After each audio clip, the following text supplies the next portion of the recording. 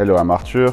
I'm uh, Chief Engineer of AIX Racing Team. We are working in Formula 2, Formula 3 and Formula 4. The cars are all the same for all the competitors, but where we do the difference is in the driver and in the car performance related parts, where the setup and where the engineer does the difference. 3D printing makes everything easier for us because it's fast, it's on the spot, we are not dependent of anybody. We have one printer always with us on the track if there's anything that happens, a part that breaks, an improvement that we should do, a measuring tool, in two hours, three hours it's printed in the truck and we get it. The MK3 in the truck is mainly used in the enclosure, so for all the technical prints with mainly PC uh, carbon fiber that is stable and heat resistant, so it's easy our prints.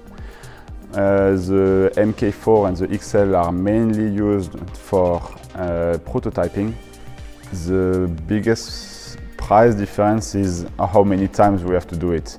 Uh, we have it in our house and uh, we produce all the parts in plastic and then it really we validate the concept, the model, and then we uh, machine it in aluminium. So it's mainly a gain of time, uh, where before you spend or more time on the CAD or more time on the machining because you have to do two or three uh, tries. This is our MK4, the one that we have at the workshop with the input shaper. Uh, we stay sitting on our desk with the Wi-Fi connection and send straight away the print. We just have to know which material and which sheet is it.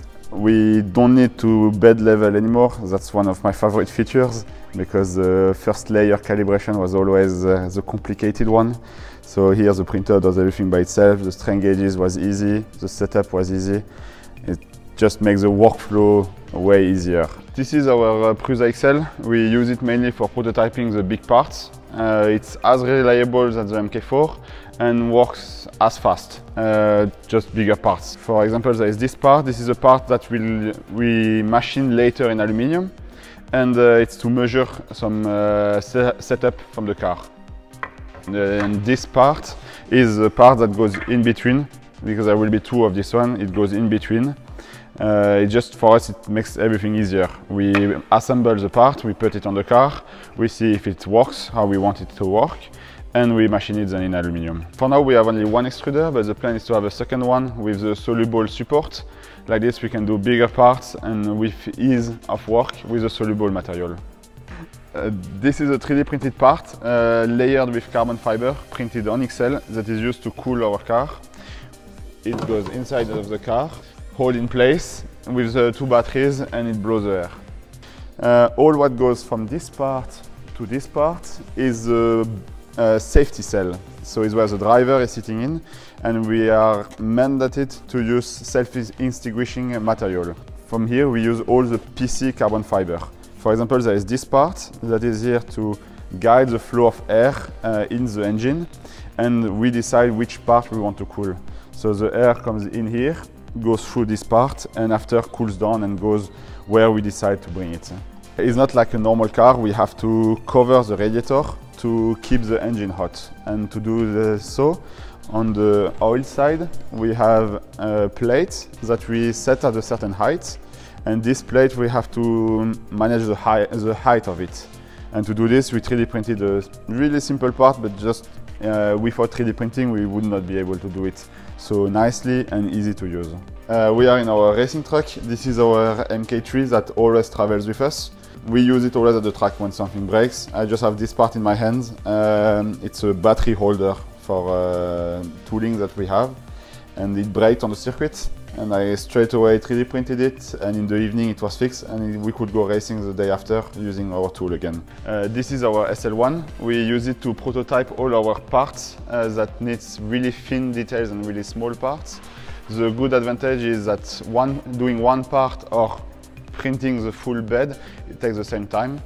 Uh, here we have an example.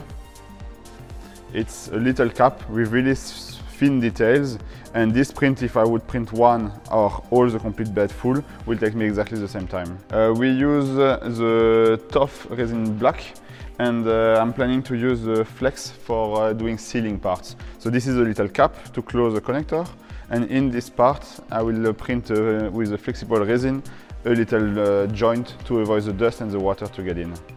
This is our enclosure. We use it mainly to print all our technical material, like the PC carbon fiber, and we need the enclosure to avoid the wind draft and uh, to keep the heat inside of it, to um, have a better quality and uh, guarantee a better adhesion. I started a bit in a weird way and because I started with uh, metal uh, additive manufacturing and then went to the plastic uh, 3D printing. Uh, I designed some parts for an oil project in university where we used additive manufacturing to really use the shapes and uh, to optimize the shape and the weight of the car. So the future of 3D printing in racing will be more and more important. So it's a matter of time that all the F2 team have a 3D printer with them. It makes just everything easier.